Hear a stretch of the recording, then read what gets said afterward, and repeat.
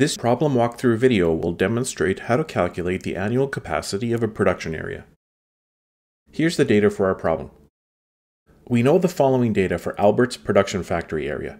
The number of machines equals 6, the number of working days in a year equals 320, the processing time per unit equals 25 minutes. There are two requirements for this problem.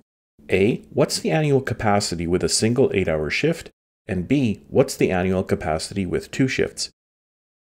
To determine the annual shift capacity, we can take the number of working days per year times the length of each shift times the unit production time. So we take 320 days per year times 8 hours per day times 60 minutes per hour times 6 machines times 25 minutes per unit per machine. This results in an annual shift capacity of 36,864 units per year.